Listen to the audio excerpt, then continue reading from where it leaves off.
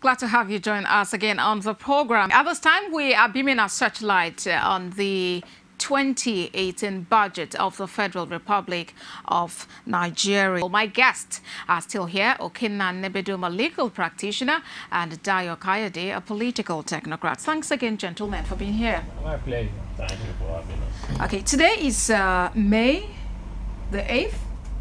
Uh, the National Assembly said before the end of this week, the 2018 appropriation bill will be passed into law, and uh, of course, the process would continue from there.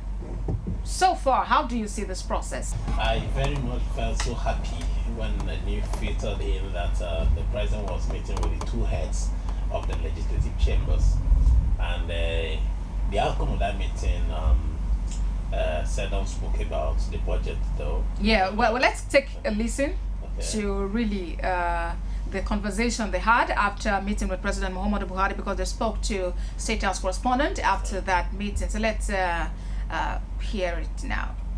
Well, we hope that uh, hopefully it should be late this week. Uh, if it can be late this week, pass this week or late this week, and pass early next week. But we're hoping it should be late this week. As a fallback to the events that took place after the president made the presentation, uh, they, they shouldn't have expected the Senate or the uh, House of Representatives to be a rubber stamp on the budget. Typical of them to look into the you know nitty gritties for the budget. They meet and it's routine for them to invite ministerial heads, agency heads to come and defend the budget. And one of the uh, outspoken um, senators, uh, Abaribe, did juxtapose to us that there's nothing actually different. It looked as if uh, there are photocopies of the past budget of 20- 2017 and 2018. And, you know, he buttressed the point so elaborate that uh, one would begin to ask, why are they these people, why are these people shading themselves away from coming to defend the budget? When you say, for example, the uh, State House uh, culinaries were bought last year, and then they are bought, uh, you budget ag- ag- again for it, does it mean that the culinaries that you bought were stolen or what happened to them? And you budgeted for cars, not, yeah, you budgeted for another set of cars, and you budgeted for computers, and you still budget budgeted for another set of computers. So those are the some of the issues that the Senate raised, at least the one I'm aware of. But there's no seeming response coming from the heads of those to, to come and defend the budget. I think uh, I, I should lay the blame on the on the on the on the doorsteps of the executive that actually prepared the budget. And I also know very well that there's the budget office which should liaise with both the executive and the legislature to streamline those issues. And there's also a presidential liaison officer to the National Assembly whose duty is to be like a lobbyist who should lobby between the presidency and who should lobby between the executive arm of government and the legislative arm of government to get all those things done. See, we shouldn't be watching identity limits in the public. If it takes this long to get the budget passed, then how much longer will it now take for the implementation?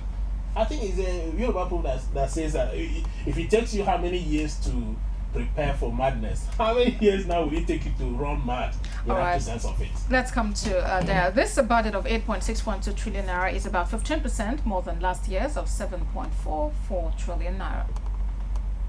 Yeah, you see, first of all, looking at the time between when the budget was submitted to when the budget is about to be passed now, the time lag is just too much. We should we should start learning from our mistakes.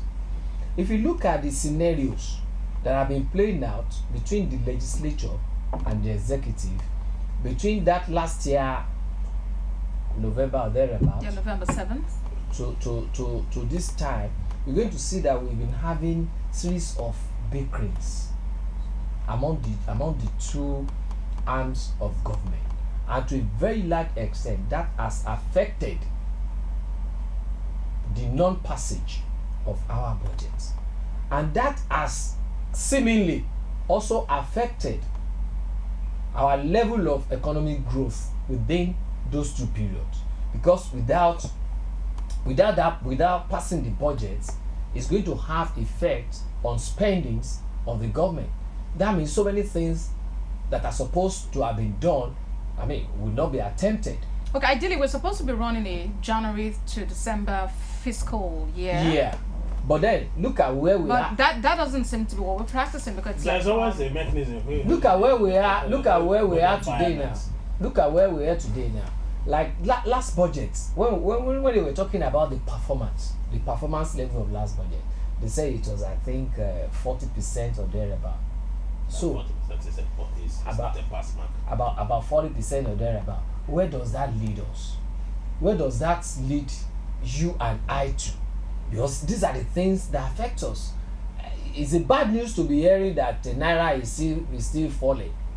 Uh, the one of the papers was saying this morning that fell about again. 360 naira. do, do you understand? All all these all these things we should we should learn from it. Our leaders should stop playing playing politics with our lives I see it more not as though they wouldn't want the budget passed, but there are interests that are being met. exactly